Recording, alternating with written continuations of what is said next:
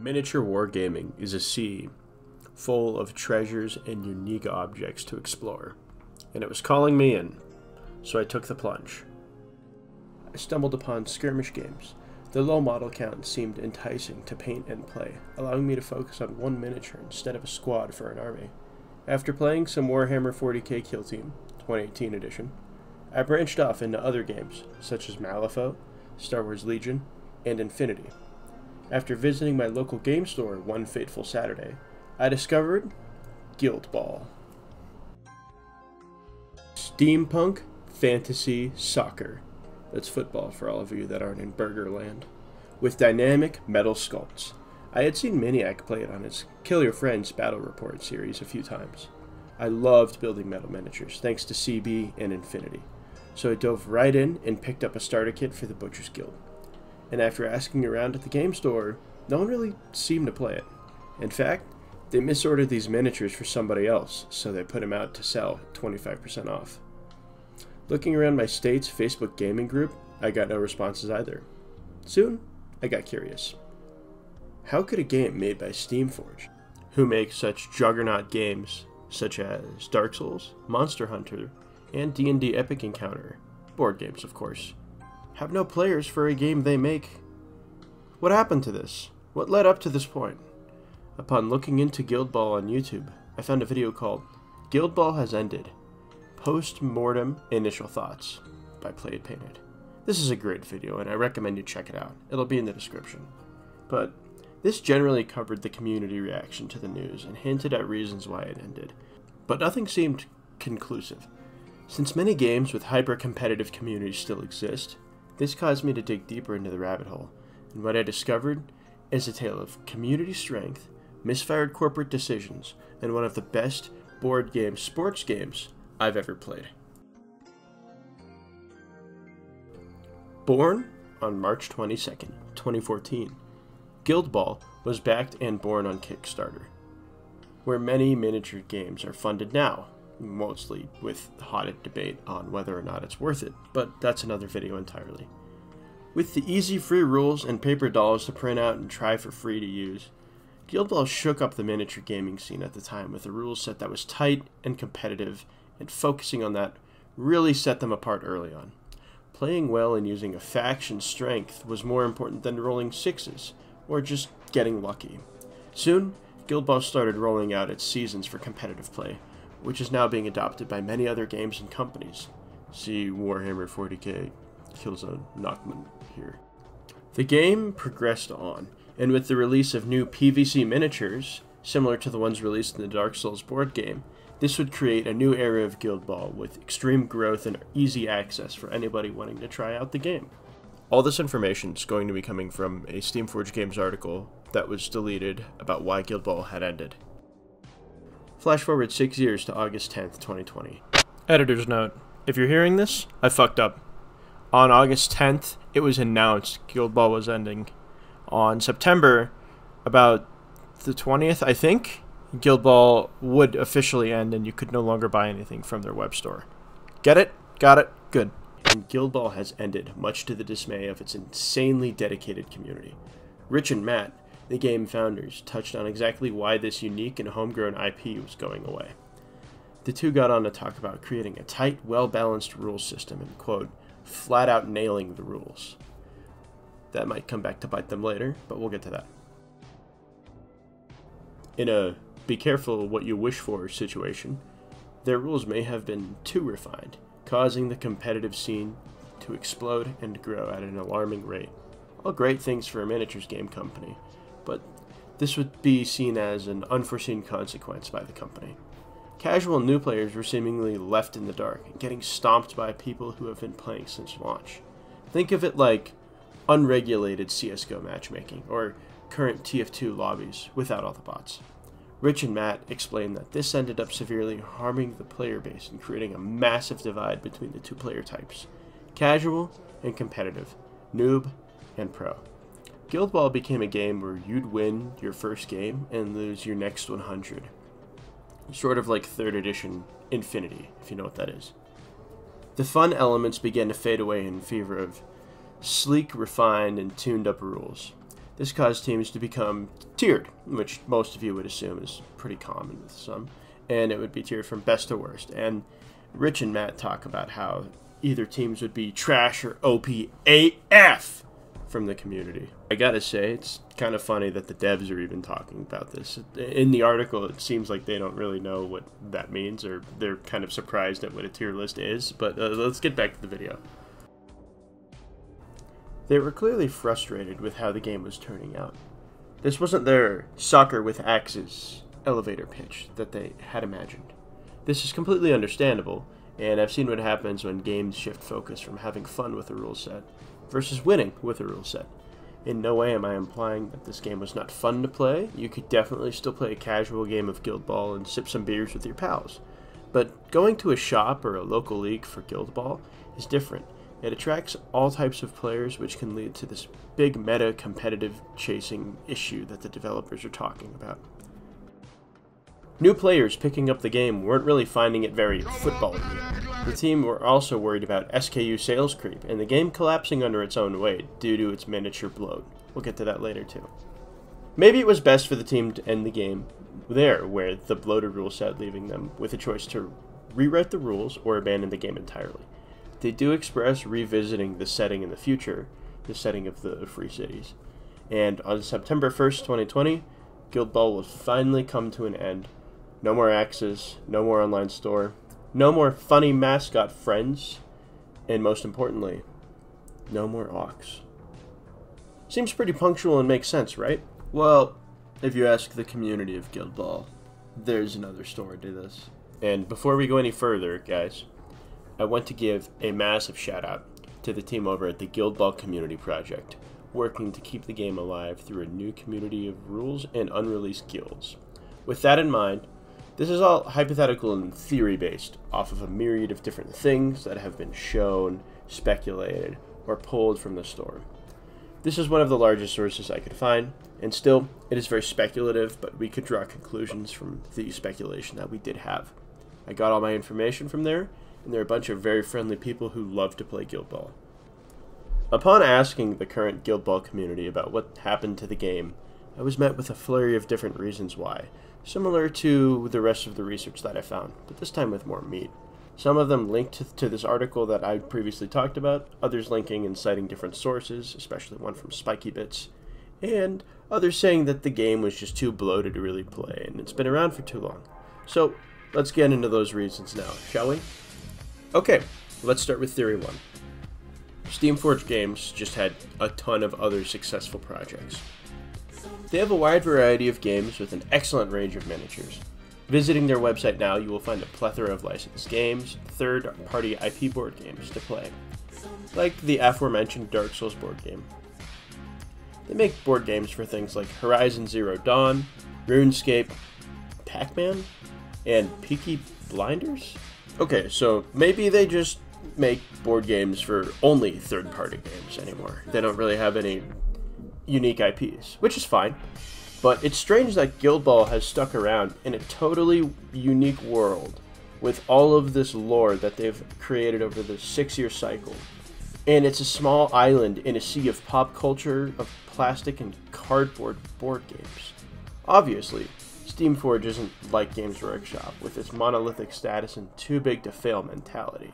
But it's also not like Corvus Belli, who makes Infinity, and many of the other board games are set within that universe. Instead, they're somewhere in the middle. They seem to really enjoy money, and of course that makes sense because it's a business and that's what they need, but as the community of Guild Ball would learn, the more third-party IP games that they would create, the less that the company would really put forth towards Guild Ball, which makes sense because that's where the money is. They would learn that they're a small totem pole in the company's roster, bigger budget IPs were generating way more money than Guild Ball, so all of the resources really just kind of went to there, including some of the sculptors, like a gentleman named Russ, who did by and large most of the sculpts for Guild Ball. So Steamforge would shift focus to making these board games more tight and making sure they sell well and release on time. And there's nothing wrong with going completely third party. I mean, hell, it's all LEGO does nowadays, and they're turning out great. No, I'm not sore about all of those cancelled LEGO IPs. Anyway, the community was feeling neglected, like their voices were not heard. And after rereading the goodbye post from Rich and Matt, it kind of feels like they were dragging the community through the mud, upset at how the game had evolved and how the community had played it. Well, parts of it feel like they're directly calling out parts of the community with their trash tier and OP tier comments. Later sales figures would reflect that their new audience for board games were essentially fans of those IPs. Fans of Horizon Zero Dawn, Dark Souls, and Resident Evil that also like to play board games. It's a total shift in the market, and this happens all the time. There's nothing to really be upset at. It's just how business happens sometimes, and it is what it is. So, those are two theories about what happened to Guild Ball. Next, we'll explore the logistical side, including profits and materials, by Steamforged Games, aka SFG.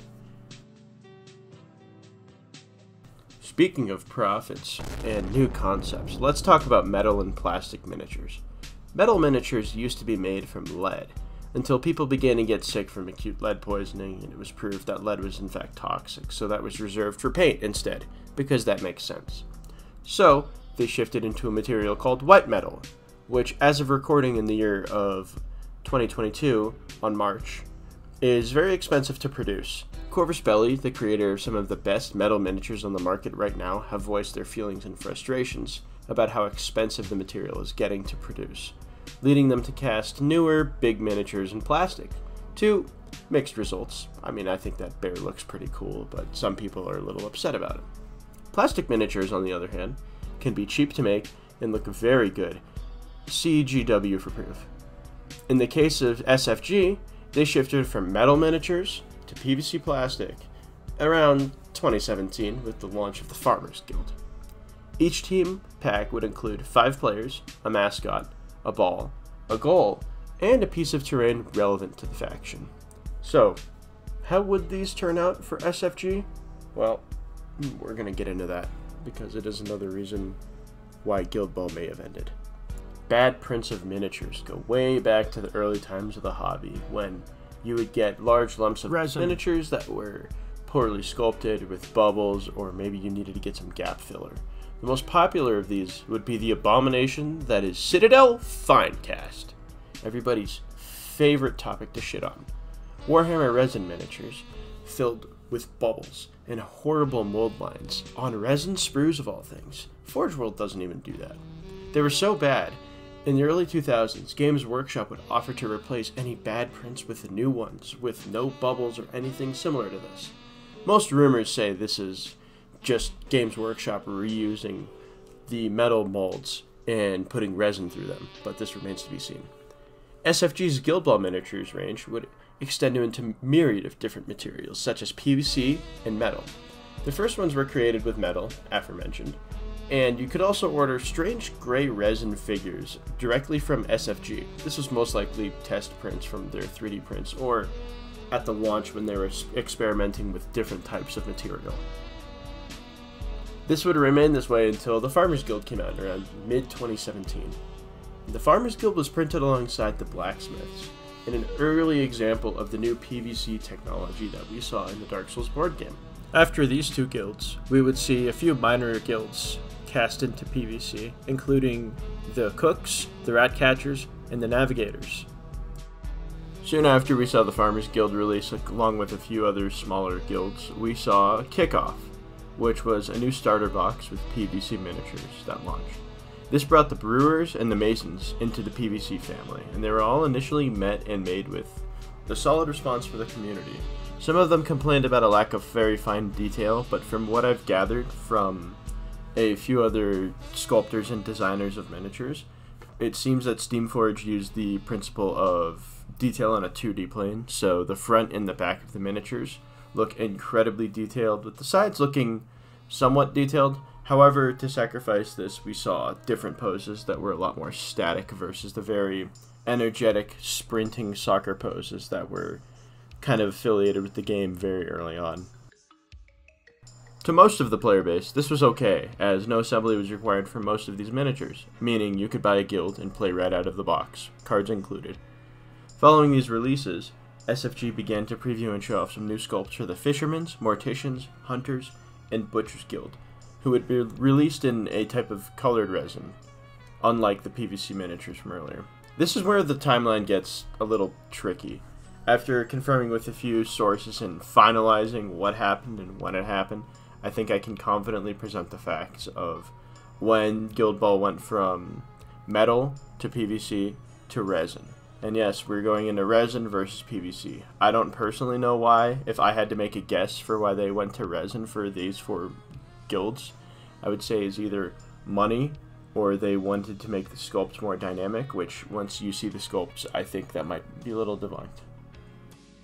From what I've been told by the Guild community, that there was some kind of lapse in leadership or quality control with these miniatures, and they got printed in a very brittle resin.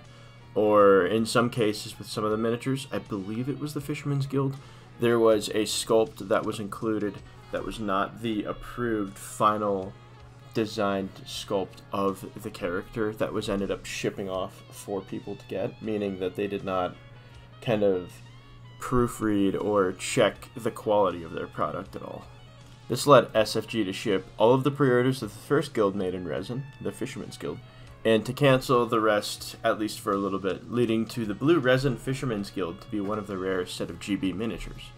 Steamforge also canceled the contract with their resin company, leading to something called the long wait, which has been dubbed by the community. With no company to supply these miniatures for some of the guilds, and Steamforge selling off many of the metal miniatures and starter boxes a few years back or a few months back with the release of PVC miniatures, this led for anyone wanting to play some of the guilds such as the Fishermen's, Morticians, Butcher's Guild to rely on sites like eBay and secondhand trading for metal miniatures. By the time Steamforge had found a second supplier for these miniatures, it would be about a month or two before the game was gone for good. After that, Guild Ball was pretty much over, and Steamforge would stop supporting the game. After exploring the various reasons for Guild Ball's downfall, I think the game was indeed bloated and could have possibly collapsed under its own weight very soon. The decision to end it was regarded as a no-brainer and something that needed to be done according to the community. However, I believe that Steamforge did somewhat not cultivate the community enough. I know that they did kind of over update the game too much without changing things and making things balanced, rather just updating things because they needed content to be pushed out. And I know I keep bringing up games like Infinity, but Guild Ball has a somewhat similar amount of stuff with Infinity with the term of activations and its origins, as well as the material it was made in, and the hyper competitive aspect. But Corvus Belli, the company that makes Infinity, regularly shakes things up for players for their new edition N4, whether that be a free bounty hunter to take or a biker instead. I wish Steam's Forge did kind of care a little bit more about Guild Ball to placate the masses of the game, to make it feel more casual and competitive. However, this might not have been enough. Pointing back to Rich and Matt's post, it seemed like the game was suffering from a lot of rules bloat, and they didn't have the time, means, or resources, or all three, to really spend on fixing this game. Instead, they decided to cut the ship loose and let it sail out in the sea. So, whatever the reason, whether it be monetary, community, or officially, Guild Ball was a quick growing competitive miniatures game with fun skirmish rules that rewarded great plays and great players. While the game may have officially ended, the community did not accept its end. Instead, they picked up the remnants of Guild Ball, patched it back together, and still play it to this day in that Guild Ball community server that I mentioned. The game is alive and well there with dedicated members, memes, and players. There are relaxed, knowledgeable players, eager to help new players, such as myself. I've only played a total of three games of Guild Ball so far, and the community is nothing but passionate for the game. They're even working on updated cards for a new community season, and releasing a new guild, which was set to release by Steamforge called the Lamplighters Guild. And they have the STLs ready for print right now, and I think they should be releasing by the end of April, but we'll see. Guild Ball may have officially been discontinued by the company, but the spirit and core of the game are alive and well thanks to the dedicated members of the community. Thanks for watching, and I think that's what happened to Guild Ball. Whoa, you're still here? That's kind of weird. But you should subscribe, hit that like button, share the video around to your friends, maybe check out some of my other videos. If you have a board game or something that you wonder what really happened to it, just let me know in the comments I'm thinking about doing a Dystopian Wars video, or one on Heroescape, depending on how this does. Thanks for watching, you guys are the best.